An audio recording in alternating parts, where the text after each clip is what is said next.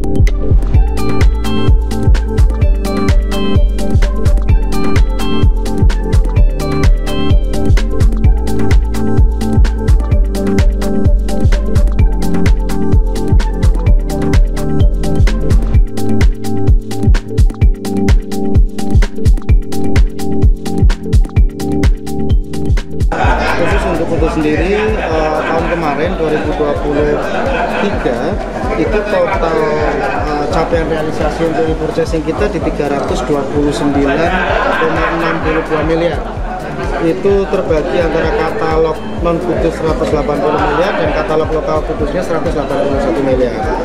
Nah untuk khusus katalog lokal di Kudus ini sampai per 1 Februari kemarin kita sudah ada 33 etalase dan 161 penyedia dengan lebih 6.448 produk tayang.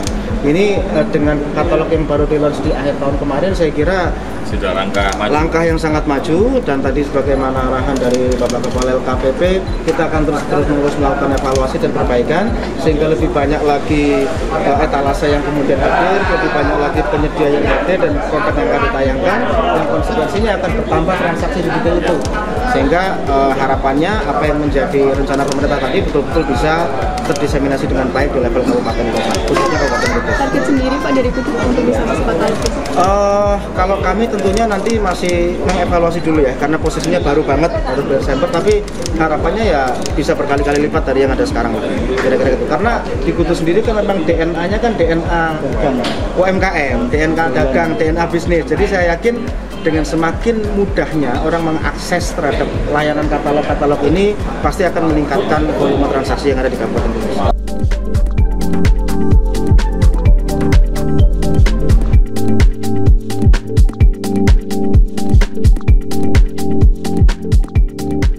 Satu program kita namanya sosialisasi terkait UMKM untuk bisa butuh e-katalog.